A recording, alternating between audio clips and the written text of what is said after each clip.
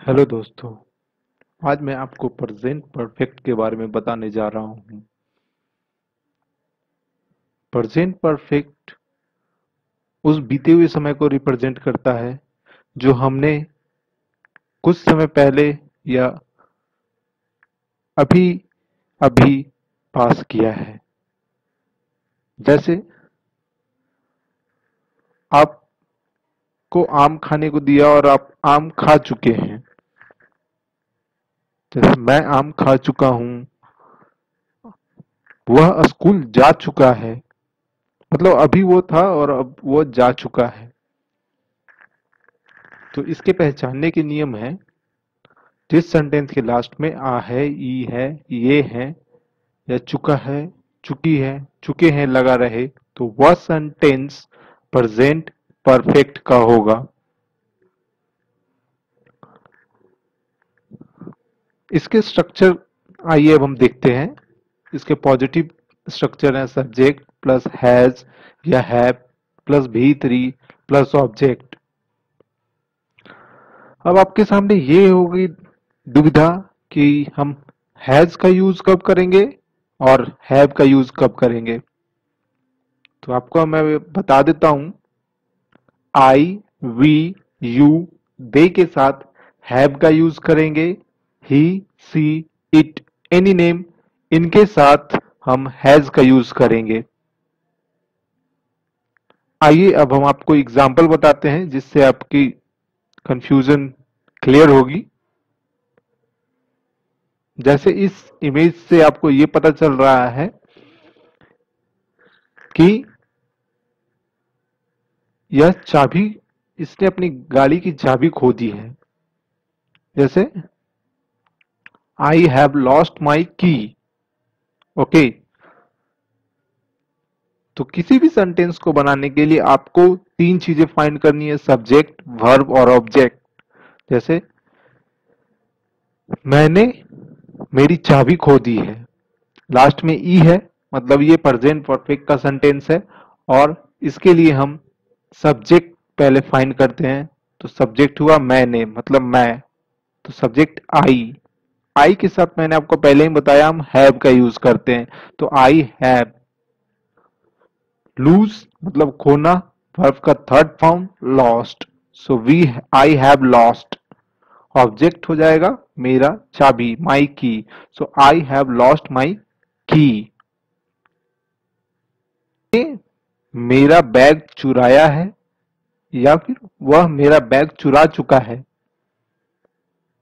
इसके लिए भी हम पहले सब्जेक्ट सब्जेक्ट फाइंड करेंगे इसके लिए। वर्ब फाइंड करेंगे और ऑब्जेक्ट सब्जेक्ट किसने बैग चुराया है? उसने या वह? तो सब्जेक्ट मेरा ही ही के साथ हम हैज़ का यूज़ करेंगे। स्टिल चुराना, उसका verb third form stolen he has a stolen and object my bag he has a stolen my bag अब हम आपको नेक्स्ट एग्ज़ाम्पल दिखाते हैं। जैसे आप देख सकते हैं, इन्होंने अपना होमवर्क कंप्लीट कर लिया है। मतलब ये अपना होमवर्क पूरा कर चुके हैं।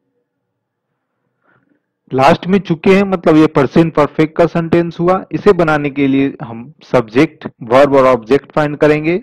सब्जेक्ट मतलब हम लोग हम लोग का वी वी के साथ हम लोग हैव का यूज़ करेंगे। वी हैव वर्ब पूरा करना कंप्लीट उसका third form completed we have completed and object homework so sentence complete we have completed homework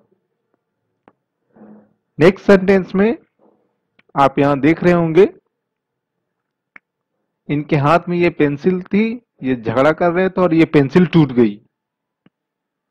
वे लोग पेंसिल तोड़ चुके हैं या उन लोगों ने पेंसिल तोड़ दिया है।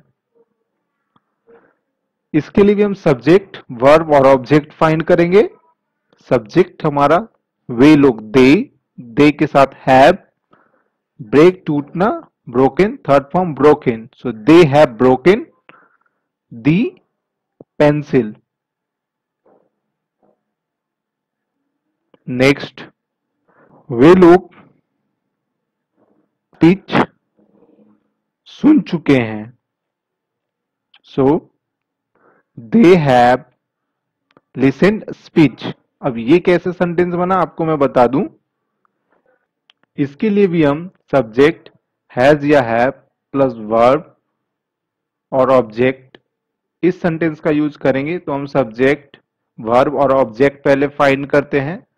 सब्जेक्ट हमारा है दे दे के साथ हैव लिसन मतलब सुनना फ़र्स्ट फॉर्म इसका third form listen so they have listen object हमारा speech so they have listen speech अब हम आपको एक चार्ट दिखाने जा रहे हैं, जिससे आपके सारे कंफ्यूजन क्लियर होंगे और आप ये समझ पाएँगे कि सेंटेंस में हम हैज़ हैव कैसे यूज़ करते हैं।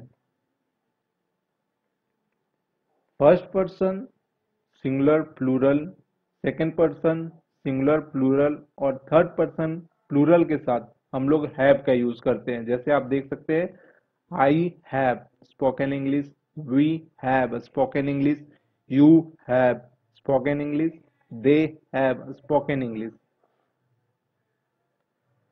Third person, singular number, he, she, it, any name like Sita Mohan Ram इनके साथ हम हैज़ का यूज़ करते हैं जैसे she has spoken English he has spoken English इनके निगेटिव फॉर्म हम हैव या हैज़ के बाद नॉट लगाकर करते हैं। जैसे आई हैव स्पोकन इंग्लिश इसका negative form I haven't spoken English we have spoken English we have not spoken English she has spoken English she has not spoken English friends अगर आपको मेरा वीडियो पसंद आया हो, लाइक करें, subscribe करें और अपने दोस्तों के बीच शेयर करें। अगर आपके मन में कुछ डाउट्स हो, कोई क्वेश्चन हो तो आप नीचे कमेंट बॉक्स में कमेंट कर पूछ सकते हैं।